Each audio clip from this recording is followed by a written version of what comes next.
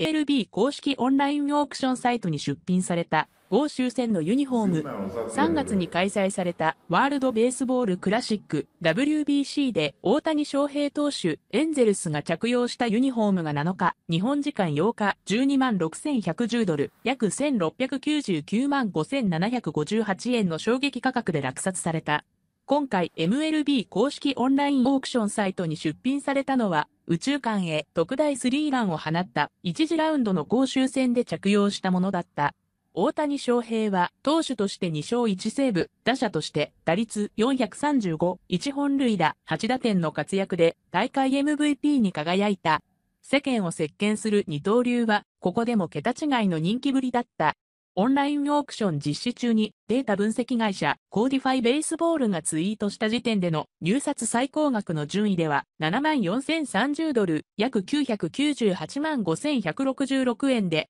2位の村上宗隆内野手ヤクルトの1万100ドル約136万2288円に大差をつけていた。なお、同ランキングの3位は、米国代表のマイク・トラウト外野手、エンゼルスで8030ドル、約108万3086円。4位は、ラーズ・ヌート・バー外野手、カージナルスで6000ドル、約80万9280円だった。侍ジャパンからは10位に高橋宏斗投手、中日が2060ドル、約27万7852円で、12位に大勢投手、巨人が2010ドル、約27万1108円で、上位14人に名を連ねている。ファンからは、というか、高すぎるわ。妥当な価格に思える。大谷翔平さんすごい笑い。村上さん2位。ヒロトさん、大勢さんもいますね。いや、ヒロトやばくねえか。シュワーバート、あれなどよりも高いって。吉田は、誰かのシャツに7万5千ドルどころか1000ドル払うことを想像してみてなど様々な反応が寄せられた。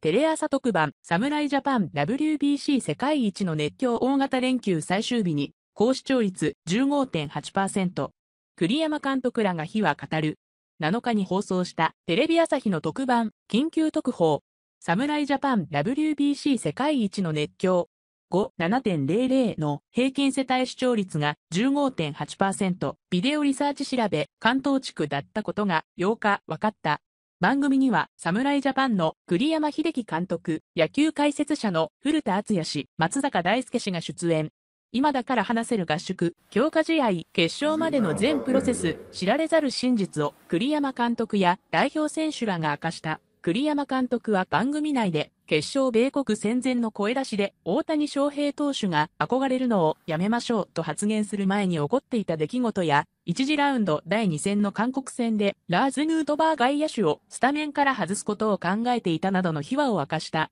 ロッチ中岡、どこにも言うてない WBC 決勝日は、大谷翔平の投球中、心を乱したらあかんと思って、お笑いコンビロッチの中岡総一45が8日、日本放送ナイツザラジオショー。月曜から木曜あと1.00に出演。第5回ワールドベースボールクラシック WBC 決勝の裏話を披露した。中岡は三塁側の座席で日本と米国の決勝を観戦。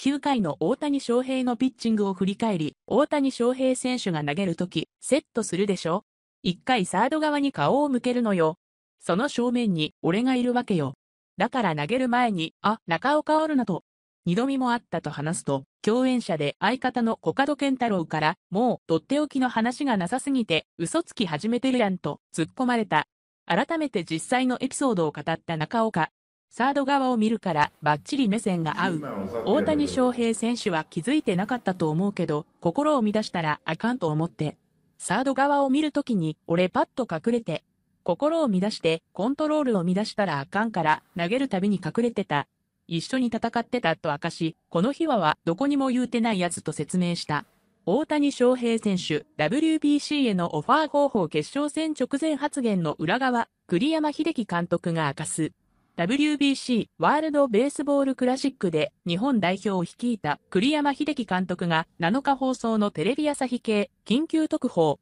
侍ジャパン WBC 世界一の熱狂。夜7時からに出演。活躍した大谷翔平選手、ロサンゼルスエンゼルスとのやりとりを明かした。栗山秀樹監督、大谷翔平選手へのオファー方法を告白。WBC のシーンを夢で見ることがあるという栗山監督。大谷翔平選手を日本代表として招集した時のことについて、こっちからちゃんとお願いしたのかなと、記憶をたどりながら、絶対ダメはなしの空気みたいな、絶対断るなんてありえないですよねみたいな空気でと、断れない雰囲気を作ったと明かした大谷翔平選手が2度目の先発マウンドを託された準々決勝イタリア戦。気迫を前面に出し高騰をするも、ピンチを迎えてしまい、交代を直接告げに行った栗山監督に大谷翔平選手はすみませんとつぶやいたといい、大谷翔平選手はこれまで試合中に謝ることはなかったのだが、その真意を栗山監督は、あれは多分僕に言ったんじゃないと思います。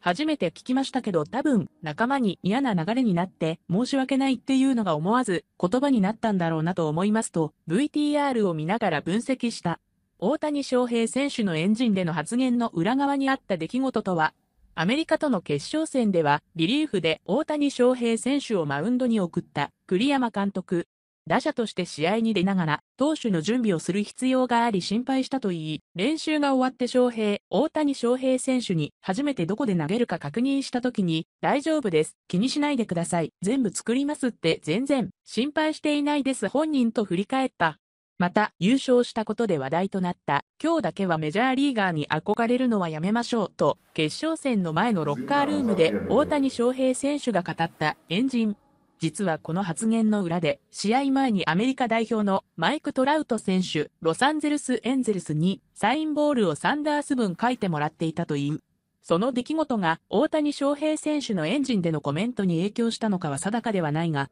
栗山監督は、そういうのも含めての、一回平に翔平、大谷翔平選手が戻したのかなっていう捉え方を、僕はしてたんですけど、ちょっとわかんないです。本人には聞いてないんで、と、日本代表の選手たちが憧れを抱きつつも、同じ土俵に立って戦うことができ、勝利につなげた大谷翔平選手の力強い言葉だったと明かした。